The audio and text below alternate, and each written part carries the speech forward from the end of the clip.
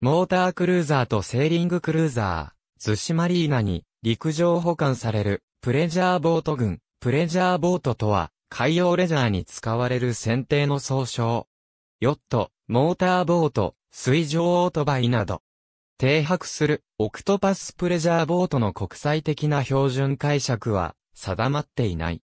日本では、おおむね4.5から18メートル程度のものが一般的で、春の素材はほとんどの場合が FRP 製である。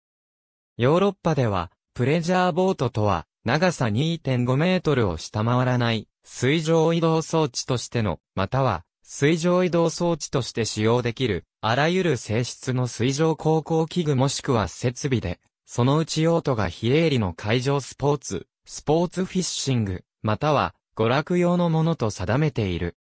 イタリアでは、10メートル以下の動力艇、またはホブネを、小型プレジャーボート、10から24メートルまでの動力艇、またはホブネを、中型プレジャーボート、24メートル以上のプレジャーボートを大型プレジャーボートとしている。中国の中高教有林有定分解によるプレジャーボートの定義では健康的かつハイセンスで大いに発展の可能性を持つ一種の水上レジャー。及び水上スポーツ製品とされている。小さいものにはインフレータブルボート、カートップボート、分割式ボートなどがある。富裕層向けとして100フィートを超えるスーパーヨットも多数、建造されている。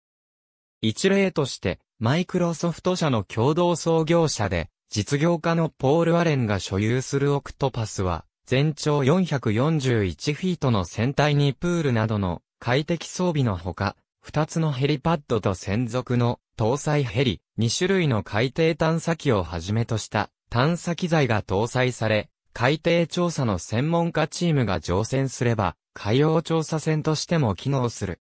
なお、プレジャーボートを、軍や行政組織が業務用に流用することもあり、沿岸警備隊や水上警察などが、警察用無線や回転灯の追加など、小改造を施した上で、小海艇として使用することが多い。アメリカ海軍では、ベトナム戦争中にプレジャーボートを元とした河川小海艇が大量配備された。また、イラン・イラク戦争では、イラン革命防衛隊が、スウェーデン製のプレジャーボートを大量購入し、ペルシャ湾において武装小艇として活用している。